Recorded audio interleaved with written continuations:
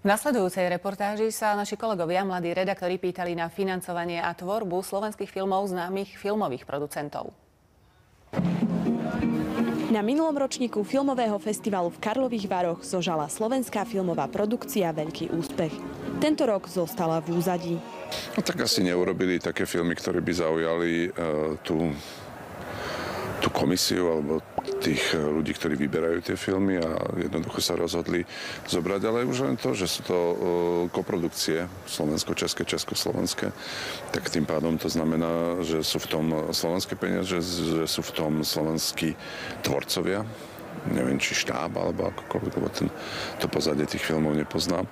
Ale tak niekedy to tak vyjde a minulý rok mali sme Čiaru, bola tu aj Nina, tak na budúci rok to bude zase o niečom úspešnejšie. Záleží od toho, aké filmy rezonujú a aké sa páčia tým ľuďom, ktorí vyberajú tie filmy. Tento rok v hlavnej súťaže, myslím, sú dve československé, sú dva československé projekty, čo je úžasná vec.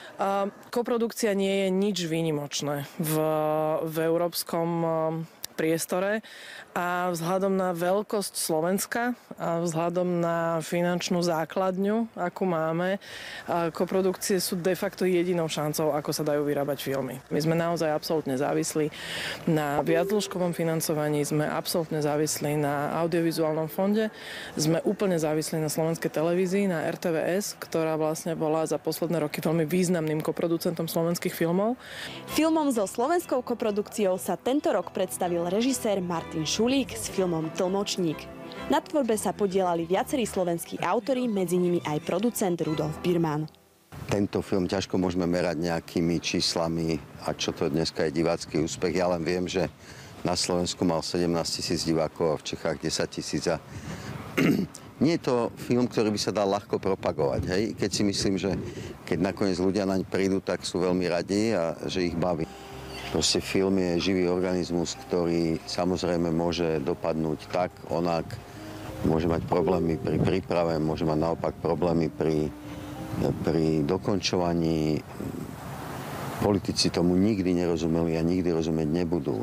Čo sa týka toho, že nejaké peniaze z RTVS v rámci zmluvy so štátom uh, idú do, uh, do koprodukcií, no tak samozrejme to je zase len ich maslo, pretože zmluvu so štátom má RTVS hlavne preto, aby mohla robiť pôvodnú tvorbu.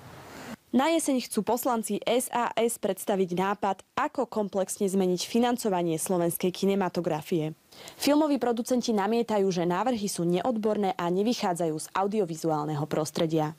Pre RTVS Lídia Cvopová.